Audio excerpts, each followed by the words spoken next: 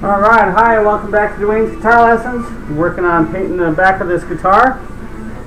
And we are now at the second process. This is going to be about kind of like a five-step process um, to really get this looking good like I want it to. Um, what we're doing now, what I just did in the second, in the first process is I painted it with the base coat red. You can kind of see that there. If you uh, want to see what I painted, you just look at the last video. And now what I'm doing is I'm going over it with a candy apple transparent red. Okay, this is the color here. It's um. The reason why I'm doing this is because this is transparent, meaning that you can kind of see through it. If you look at this bottle, you can kind of see through it a little bit because the color is transparent. So with an opaque color, you have basically a couple types of paint. You have opaque colors that have a little bit more pigment in them and they're a little bit thicker, like white and black. And then uh, you also have like other colors too, blue and red and yellow and everything. But uh, basically what we're doing is putting down a base coat, and then I'm putting this candy apple red over the top of it. Okay. And what that's going to do is it's going to really allow this paint to shine when the sun hits it. So I'm basically just going over it with a called a flood wash. Going over with this candy apple red. What it's going to do is really pull out that other red that we have underneath it. And make it really shiny. I don't know if you can, can see the difference there. Probably not. Not really on the video. But on here, I'll see if I can uh, get the video a bit more when I get done here. But what it's really doing is brightening up that red that's underneath it. That's what you want. And being that this is a candy color, candy apple red, it should look pretty good when it's all, you know, clear coated and everything. It looks pretty good when it's all said and done. So, kind of cover everything. So basically what you do is you do your base coat first. And then after that, you go back over with your candy color, which in this case is candy apple red. And it shouldn't take too much, just enough to cover all the red that you've done already. You put some other red in there too. It won't really show up that well because you got a black background.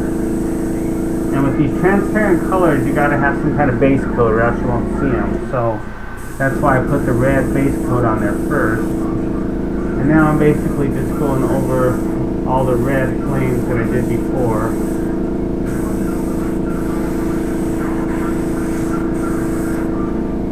Using this transparent uh, candy apple red is what this is.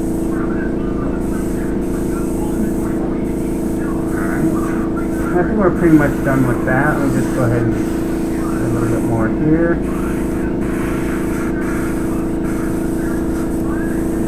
little bit down here.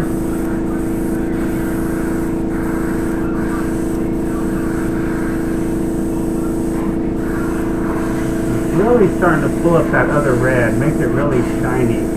That's the main thing we want to do.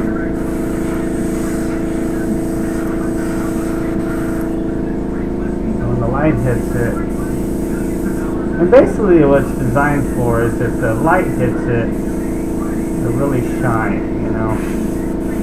Like if you have this guitar outside, don't really play too much outside, but if, if a person does, you know, if they're playing outside, and uh, I basically just got the paints and stuff in these little bottles that you get at Home Depot. These bottles right here. And what I like about they have these little tips on them, so I can just a little bit of paint in there. A little bit of uh, through some paint to clean out the brush. I like this one because it's a really fine detailed one. I'll show you the difference here in a second. Opposed to the other one that we were using. For the first red, what I like to do is I like to use two airbrushes. The opaque colors have a little bit of, of uh, pigment in them. and pigment is the paint itself. Okay. So a lot of times they leave little little pigments of paint in, the, in there in the gun, and it, it, gets clogged up, and it's hard to shoot. And then you try to put other colors through there, and it doesn't work too well. So what I've decided to do is just use two different airbrushes. So this one's another gravity one that came with this kit that I got. It's really cool. Let's see if you can see this. Okay, so it's like the other one, but it's got a smaller bowl on it, and it's got a finer tip here. So it's really good for doing fine detail work. Plus, I like to use my transparent colors to this because of the fact that it's smaller. And once again, it, it's a dual action, meaning that you push down on the trigger to, to release the air, you pull back to release the paint, and it gives you a lot more control as opposed to just like a single action. You have two types of brushes, single and double. And the uh, single action ones are good if you're spraying like a background or something like that. Those work really well for that.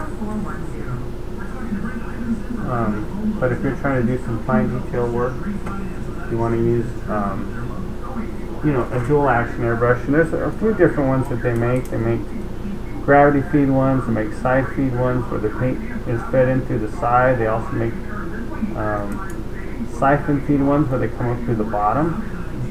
Now, I think that when you're using those kind of airbrushes, those are good, but you really need some some good quality air, like a big air compressor, 100 psi, that kind of stuff. And I just got this little one here, so But these gravity feed ones work really well with the smaller airbrush. And I try to use the bigger one, it doesn't work so good because it's got to suck the paint up. So until I get a bigger airbrush or air compressor, we're just going to have to deal with this. But this will work just fine. Little kit I found on online, pretty cool. For like 100 bucks, I got a couple few airbrushes and an air compressor, regulator, hose, pretty much everything you need to go. So feel pretty good about that. Okay, so here we have our second color here. If you can really see this. You probably can't see that too well. I know it just looks red, but it's uh, you probably even do it a little bit thicker on there, but I think I'm just going to leave it like that for now. It'll be fine. But when the light hits it, it'll shine a little bit more. That's basically the concept. So, thanks once again for watching that second step.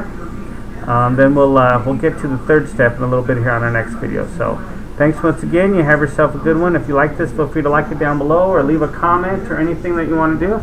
And look for our next video on the next one. Thank you very much.